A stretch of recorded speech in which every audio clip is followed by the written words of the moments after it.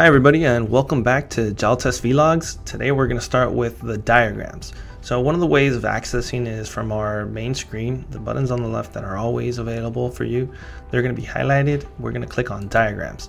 When, it, when we click on there, we're going to see that we do not only have wiring diagrams, but we also have operating diagrams, the architecture, and the fuse and relay diagrams. So let's go one by one to see what each one of them offers. First thing we're going to look is at the wiring diagram, the most common ones, and they're going to be consistent throughout all the different systems. So it doesn't matter if it's engine, transmission, or brakes, you're going to find similar configurations and the whole layout is going to be the same. So here we're going to go first through the button. It shows us on the top right the amount of pages. Here is the way to click to the next page. So we're going from one to two, so on. If you want to go back, and then here we have a button which is symbology and diagrams. If we click on here, it'll tell us what each sensor is. It'll show us what each pneumatic, pneumatic and hydraulic element is, what the solenoid valves are, and your different switches. Okay, so any doubts on the symbols that come out in the wiring diagrams, this will be the place to go. Then we can also switch it, rotate the page, make it wider, zoom out, zoom in. Okay. If at any moment you would like to print the wiring diagram, all you have to do is go up here and print it.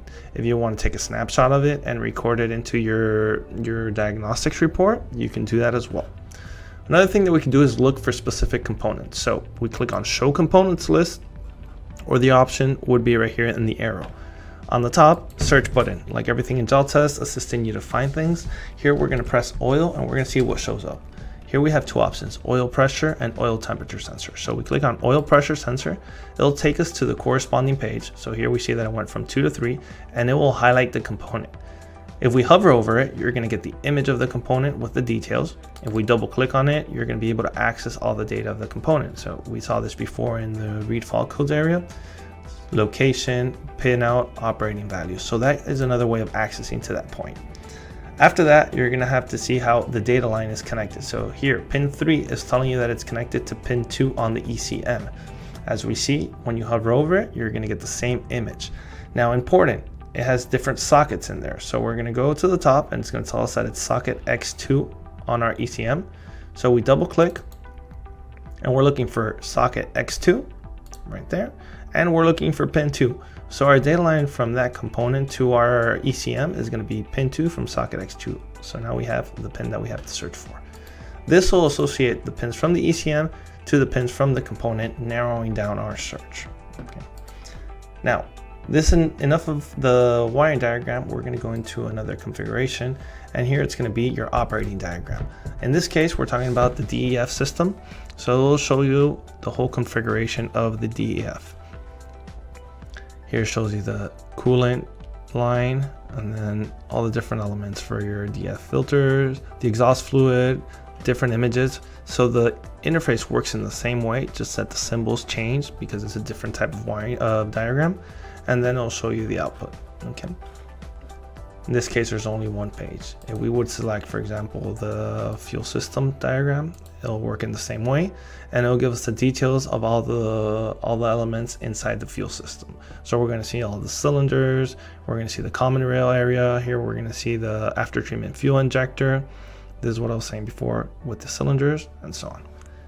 Now the next wire, the next diagram that we're going to be able to select is your electronic architecture. The electronic architecture is going to show you the speeds and the connections of your CAN lines, your different communication protocols, 1939, 1708.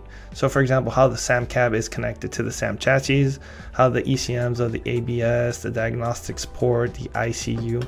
So all these are the ways that you have to go through to get from one ECM to the other one, and that's how the truck is internally communicating.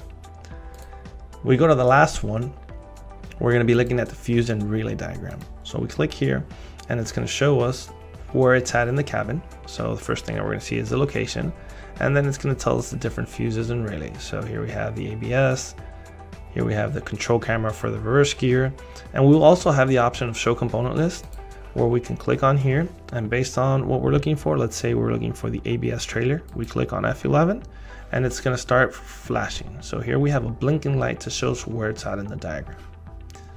Another interesting fact is that you go to the different page and it'll show you the different fuses and relays. So this is in the back of the truck, shows you how the ECM looks like and then the own, its own configuration. And then the last one will show us another configuration as well the fifth wheel and how it's set up. That much for the different configurations. You have the wiring diagrams, your operating diagrams, your electronic architecture, and then the fuses and relays. Another way of accessing to your wiring diagrams is how we saw before. So it would be through the read fault codes. So we click on read fault codes and we're gonna see how in the previous vlog, one of the options is gonna be the question mark. So when we go into that question mark, we're also gonna be able to access the wiring diagrams. So here the component will take us directly with the highlighted element within the wiring diagram. And that's where we would be. So same thing we saw before.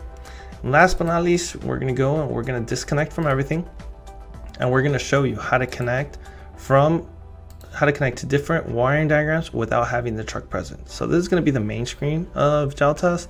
You're going to go to the bottom right hand. So here, if you don't have this configuration, it's going to look like a, a red Cummins engines and an Allison transmission. This is the manufacturer's menu.